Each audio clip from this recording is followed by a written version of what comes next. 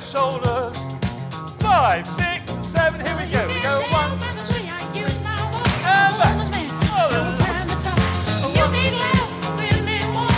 I believe we're born to dance. It's inside all of us. And we can see that from the behaviour of very young babies.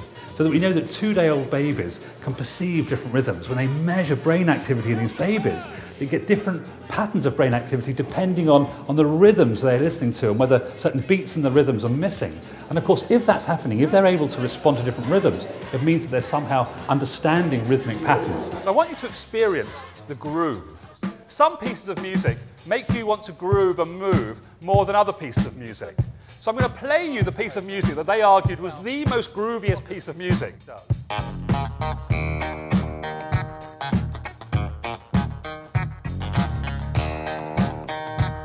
Coming at the question about how we learn to move our bodies and what's going on when we're watching other people move from a far more sophisticated level, we can start to fill in the gaps from little simple hand movements to the really beautiful and sophisticated movements that we perform in our daily lives.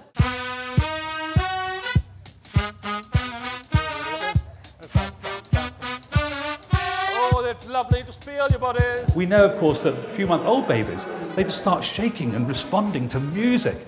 Now they, now they respond more to music and rhythmic sounds than they do to rhythmic speech. So it isn't just the rhythm per se they're responding to, there's something else in there about the music that is getting their bodies going.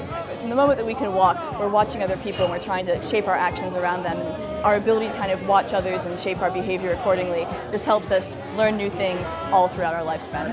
And then by a few years of age, or four years of age, they're able to take that musical stimuli and they can move on a beat and they're internalizing the, the, the music and then anticipating it and then dancing to it. So I believe we are born to dance.